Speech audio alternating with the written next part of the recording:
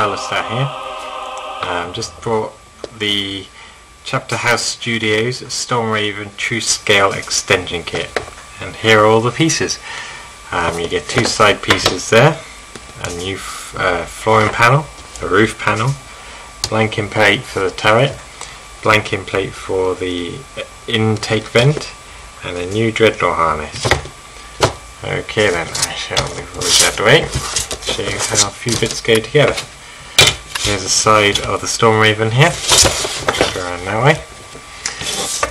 Here we have, uh, be this side, I believe, no, that side was right. Okay then, so they fit together thusly as we can see. Do fit together with a really nice clean fit. Um, very limited green stuff, a little bit, tiny bit down there. I do like the way the panel lines flow into each other. So it's going to look like a really nice kit, actually look part of the model.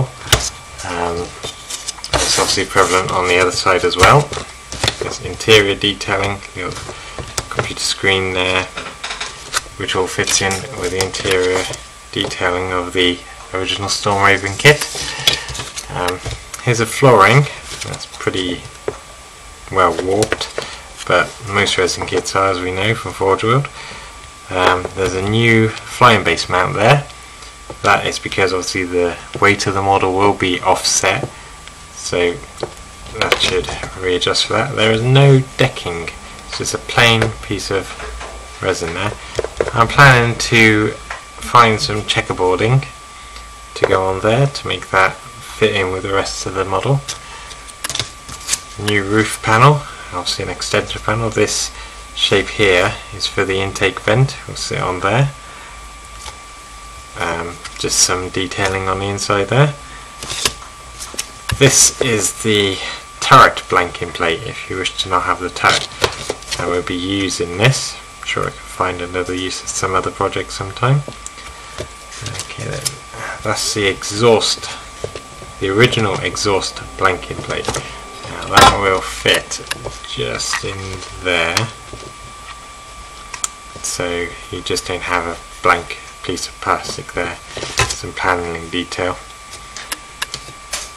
And here we have the new dreadnought harness.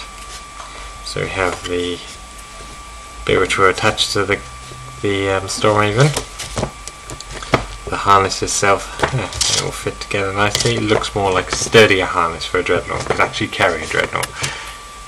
Also I'll be using on my Stormraven build. It's a Grey Knight Stormraven build. It is the Forge World Rhino rear hatch, which doubles up perfectly for the front hatch of the Stormraven with the Inquisition detailing there and all the Latin Demon Exterminatus detailing there and there on the back as you can see is the checkering plate I was talking about which I wish to put on the floor.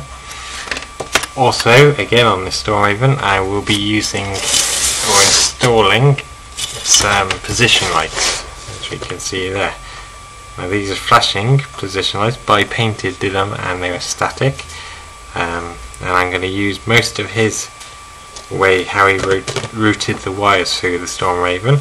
The only difference is I'm going to need to somehow fit in this circuit board, which is what makes the lights flash through these two little potentiometers here, various resistors, capacitors and transistors.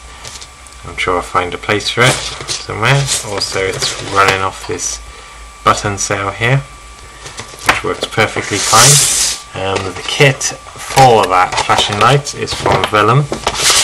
Turn the right way up.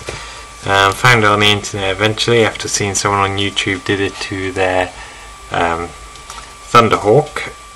Um, comes completely unassembled, and I mean completely unassembled. You will need to carry your soldering iron.